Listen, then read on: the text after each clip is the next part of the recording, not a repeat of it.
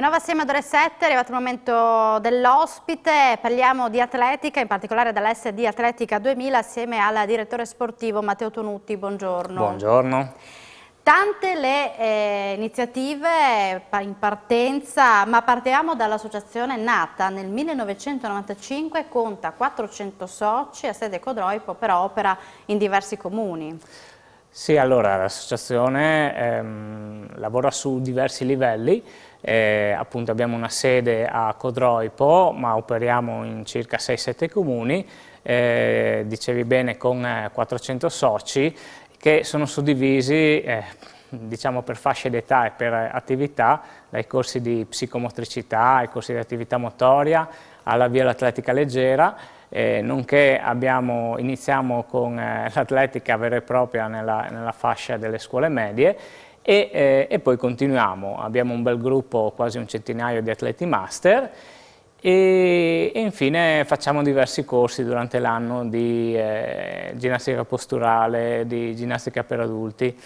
Ehm, abbiamo parecchi progetti all'interno eh, delle scuole e, ehm, e, poi abbiamo un, da, da, qualche anno un, stiamo sviluppando anche l'aspetto dell'atletica paraolimpica eh, con buoni risultati, visto che agli ultimi campionati eh, abbiamo fatto 5 podi, 5 podi italiani, un titolo e, e 5 argenti. Sì, possiamo dire che siete il punto di riferimento per la Federazione Paralimpica, FISPES, in regione, affiliata alla FIDAL e al CSI, sì. lavora appunto costantemente con la scuola. Allora, fondamentalmente la, la, siamo affiliati alla Federazione di Atletica Leggera, e, mh, mm, e quindi, eh, visto anche il mio ruolo di dele delegato tecnico eh, della Federazione Paralimpica, abbiamo unito eh, questi due aspetti e il nostro obiettivo è appunto integrare eh, lo sport per normodotati con lo sport per eh, mm, paraolimpici, cercando dove è possibile di allenare insieme le varie tipologie proprio per non ghettizzare eh, le persone.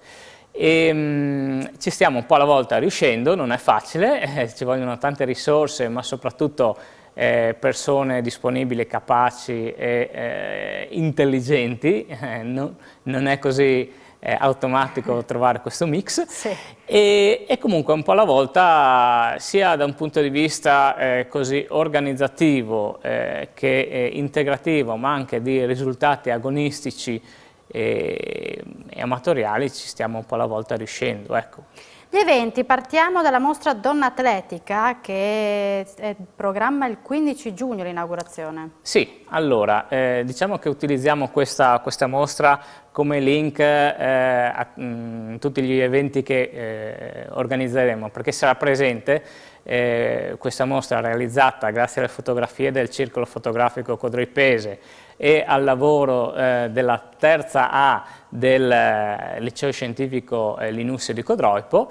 Eh, questa mostra ha come obiettivo eh, di mettere in luce come lo sport può far elevare determinati lavori, eh, valori e, ehm, e come lo sport è riuscito Mm, come, eh, diciamo, come, la donna attraverso lo sport è riuscita ad emergere negli ultimi decenni. Pensiamo che nel dopoguerra eh, l'attività sportiva femminile non era così forte e presente ed è una delle modalità attraverso le quali eh, la donna diciamo, si è messa in luce.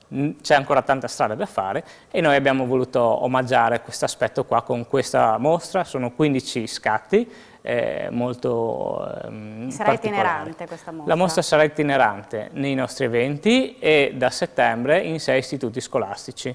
Ehm, c'è anche uno scritto di Sara Simeoni che ci ha regalato e vorremmo anche invitarla. Come dicevo, il 15 giugno eh, la, la, verrà inaugurata questa mostra all'interno eh, dei campionati europei per trapiantati, la eh, parte riguardante l'atletica leggera, che sono partiti martedì a Lignano, ma eh, come associazione, in collaborazione con l'ACTI, l'associazione dei trapiantati di cuore e polmone, eh, organizziamo, eh, come dicevo, la parte di atletica leggera e vi aspettiamo quindi venerdì dalle 9.30 al Polisportivo Comunale di Codroipo. Poi altre, hai un calendario davvero ricco, il 23 giugno 5 miglia di Villa Manin, il 30 luglio mezzo fondo party, insomma davvero tantissime le iniziative. Certo, allora abbiamo cercato di concentrare tutto a giugno, infatti sarà un mese eh, di fuoco, e eh, al calare della sera in Villa Manin di eh, Passariano eh, organizziamo la mh, mm, seconda edizione delle 5 miglia di Villa Manin praticamente eh, il, percorso, eh, il, percorso, si snoda attorno alla Villa Manin eh, con una gara maschile e femminile e anche lì cercheremo di fare una, eh, una gara che è anche un, una celebrazione di questo luogo che è molto interessante soprattutto la sera con eh, le torce lungo il percorso. E poi passiamo ai due meeting nazionali di atletica leggera eh, anche, questi, anche, in questi saranno presenti sia atleti normodotati che paralimpici che gareggeranno assieme. E eh, il 30 giugno dedichiamo la manifestazione al mezzofondo, quindi solo gare di mezzofondo sempre in pista eh, a Codroipo, pista di atletica. E il 30 giugno invece il dodicesimo meeting nazionale che è quello che è diciamo, la parte storica delle nostre attività ehm, che, che, che, vedrà una serie di atleti di livello nazionale e internazionale nelle corse, ai salti e ai lanci. Però ci sono anche eventi collaterali. Sì.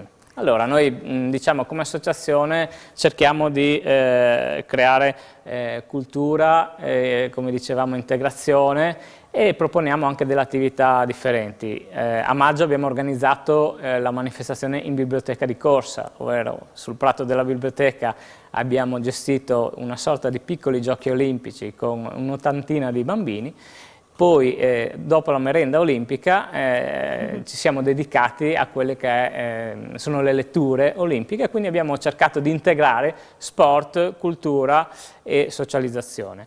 E così faremo anche il, um, il venerdì 6 luglio, eh, presso Corte Bazan eh, a Goricizza di Codroipo, ehm, organizzeremo un, prima una pericena, e poi il cinema eh, all'aperto con la visione del film L'atleta eh, Abebe Bikila, che ha una storia molto particolare.